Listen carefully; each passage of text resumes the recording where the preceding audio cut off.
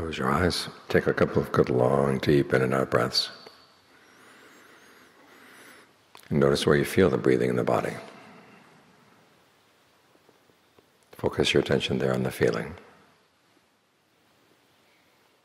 And then ask yourself if long breathing feels good. If not, you can change. If it does feel good, keep it up. We're trying to build a place inside where it's good to stay. The mind needs a home. Otherwise it wanders around exposed to all kinds of things. It wanders into the future, wanders into the past. It's like a little child wandering out of the house. Gets rained on, gets heated up by the sun. People come along, give it candy, and then just take it away. All kinds of dangerous things can happen to a child wandering away from the home. It's the same with the mind. You wander off in the past, wander in the future. You can get stuck in some really bad thought worlds. Meanwhile, your home gets abandoned. So you're trying to bring the mind and the body together here.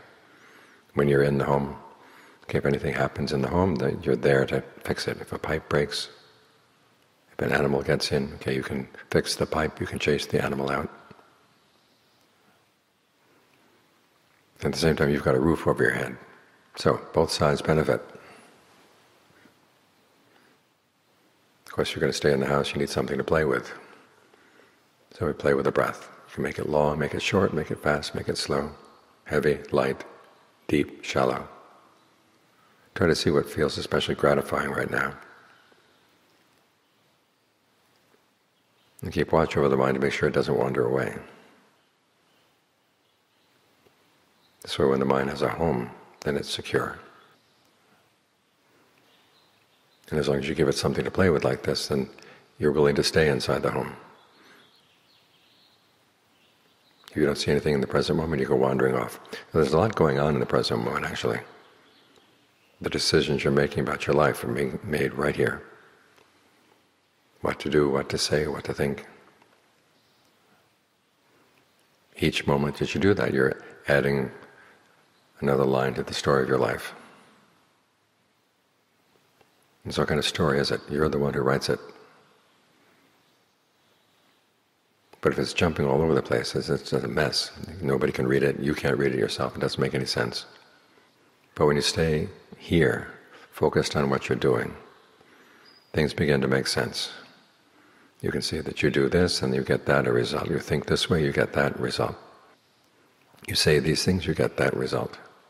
You can begin to make connections. We can make connections like this. That's when a story makes sense.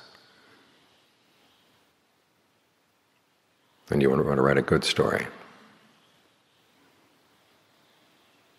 So it's all happening right here, your decisions. Your karma is being made right here. So bring your full attention right here so you make sure that you could do the best you possibly can. That way you're staying at home, you've got good work to do at home. You're safe and you're writing a good story about yourself. That's a recipe for a happy life.